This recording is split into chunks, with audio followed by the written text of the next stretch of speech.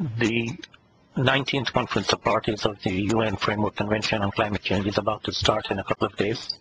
Uh, it'll be held in Warsaw in Poland over two weeks, the next from Monday next week until two more weeks after that. Um, we are hoping that the Warsaw meeting will lay the groundwork for uh, putting in place all the activities that need to be done in order to get a, a good outcome in 2015 at the 21st Conference of Parties, which will be held in December 2015 in Paris, France. So this is a very important milestone on the way. There will be one more Conference of Parties in between Warsaw and Paris, which will be next year in December 2014 in Lima in Peru. And one of the major lessons of the previous uh, occasion when we tried to do something like this was in Copenhagen, which failed uh, to achieve the agreement was that we left everything till the last minute. So nothing was agreed until everything was agreed. And because everything was not agreed, nothing was agreed, even, even though some parts could have been agreed. And so going into Paris, we, we want to avoid that mistake and not leave everything till the end. Try and wrap up things that we can wrap up early, particularly in start the process in Warsaw, but have something done in COP20 in Lima in Peru and not just wait till the end in Paris. So that's one major lesson to try and have a, a milestone in, in Lima and try and achieve some activities there. Uh, and also to be able to collectively raise the level of ambition. One of the other bigger differences between uh, the situation we had in Copenhagen and the situation that we will have in Paris is that in Copenhagen there was still a reluctance from a number of parties to take action unless others took action. So it was very much a we won't do anything unless somebody else does something first. And then in the end, everybody blamed everyone else for not doing it. Um, we are in a very different situation now where all countries are prepared to take actions and we have many, many voluntary actions on the table. Developing countries have put forward national, uh, nationally appropriate mitigation actions and so on. Um, so everybody is willing to take action. Everybody is already taking action. That's a much more positive situation.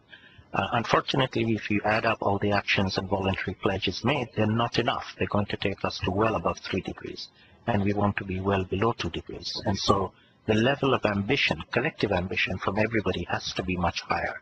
And that's what we need to try and achieve between now and uh, Paris in 2015, raising the level of ambition for our uh, all our countries to reduce their emissions, both developed countries as well as developing countries.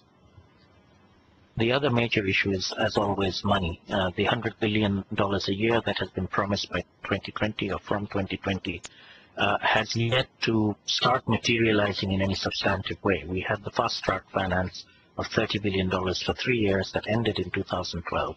We have a gap between 2013 and 2020, uh, and we're not quite sure how that gap is going to be met. And Annex 1 countries uh, need to come forward with some level of pledges so that we don't fall off a cliff and go into zero and then wait till 2020 till we get more money. Uh, within the financing uh, aspects, there's an issue about finance from uh, private sources and finance from public sources. While it is indeed important to get the private sector on board and, and they should play a role, there are certain areas, particularly in adaptation in the poorest countries, where the private sector really is unlikely to be able to play a major role and public sector will have to step up. So Annex 1 countries are going to have to put money from their public purse into helping adaptation in the particularly the least developed countries. So that's an aspect of funding that is not likely to be filled by the private sector.